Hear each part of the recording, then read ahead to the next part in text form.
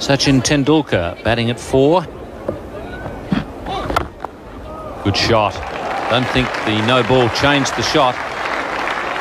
Outfield is quite slow after uh, what we saw in Perth.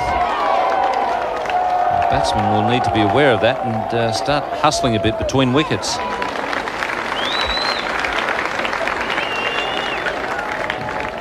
That shot should give Sachin a bit of confidence. Flowing on drive there. And uh, although it was a no ball, I don't think he changed the shot because of that at all. And now McDermott with those tremendous figures. Two for eight from seven, giving way to Steve Waugh.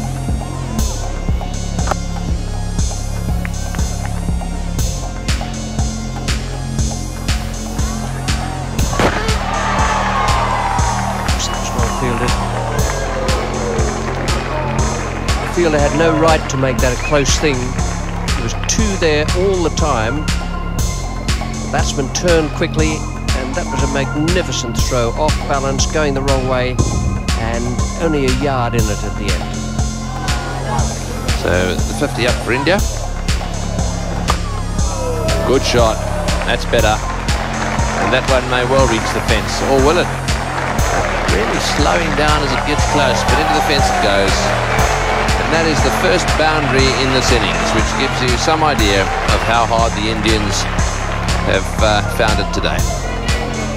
Yes, the Australians have really bowled well. And uh, once they got Srikanth out, it put a lot of pressure on the other batsman. Tendulkar here breaking free that back foot cover drive. That one away too into the gap and he'll definitely get two runs. There's a southerly front went through this uh, part of Tasmania earlier this morning, but uh, it's certainly clearing up now. So Kapil Dev has been promoted in the order.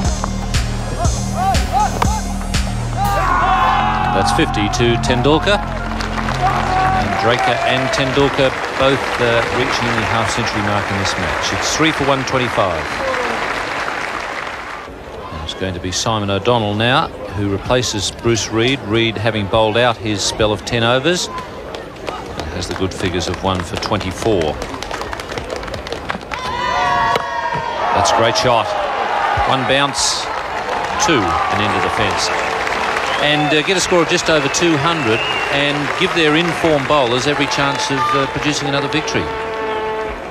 Well, from the early overs, it's looked to me like a 200-run pitch. Might just get them two. Now, it was either very cleverly placed or he was done in the flight. I'm not sure which.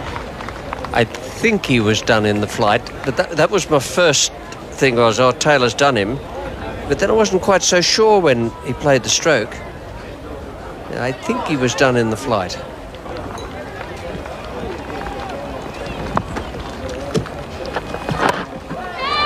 Done there, and uh, it's brought him undone.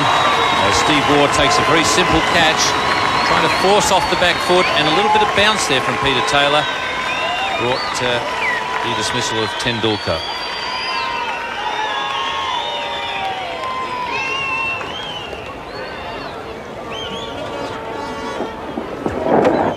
Well, that looked as though uh, he was trying to push it over the infield, didn't manage it. Steve Waugh has taken the simplest of uh, catches. Out for 57, caught Steve Waugh, Peter Taylor, 4 for 134.